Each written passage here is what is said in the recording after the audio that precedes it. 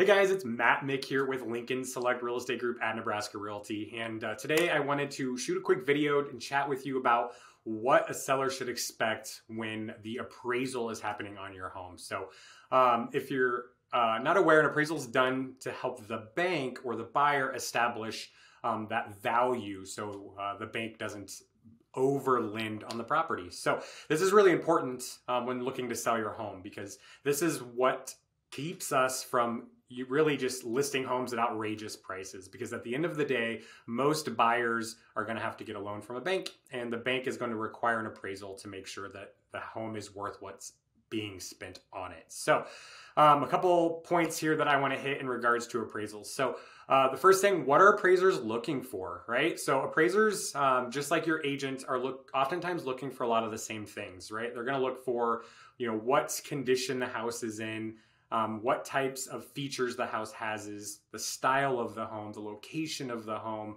um, bedrooms, bathrooms, all of that stuff.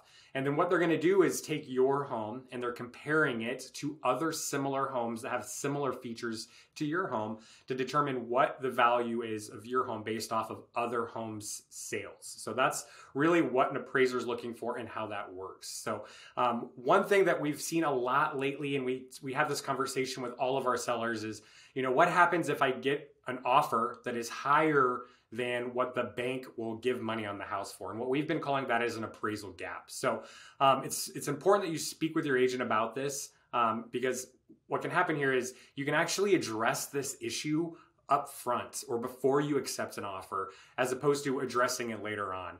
Um, so do know though, if an appraiser says that your home is worth less than you are offering, the bank will not give you a loan on that house unless you have some way of negotiating the price to a new price or covering that gap, which would more than likely mean coming out of pocket with cash to cover that gap. Um, and the third thing, and I get this question a lot, and I also, I've also spoken to a lot of sellers that have done this, and that's should I have an appraisal before I put my home on the market? And honestly, um, I would be really hesitant with that. Um, you can do it, um, but again, the second that that appraiser leaves, the home value changes, and so unless you have that done like right when you sell your home, it's probably not going to be very accurate, especially through the markets that we've seen here over the past few years where homes have been appreciating you know more than a percent per month. Um, also the appraisal isn't going to be able to be used by really anyone but you and your real estate agent can can get to a price that's going to be right around where that appraiser will get their price at um, and not charge you anything to do it. So um, do know though you cannot give that appraisal to like the bank for the buyer. Um, they just won't accept it. The bank's going to require that they have their own appraisal go out um, and, uh, and do their own evaluation of the property. So, guys, that's uh, you know three fun facts there about appraisals. If you have any more questions on that, uh, just slide in um, to our DMs, email us, call us. We'd love to help you with that. And of course, as always, if you're looking to sell, we would love to help you with that. Thanks, guys.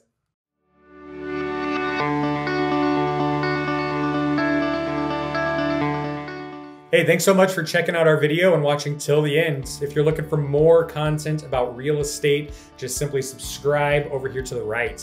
And if you want more information on what your home is worth, check out sellyourhomelincoln.com to get an evaluation done, and one of our listing specialists will reach out to you to help you determine that final price. Thanks again.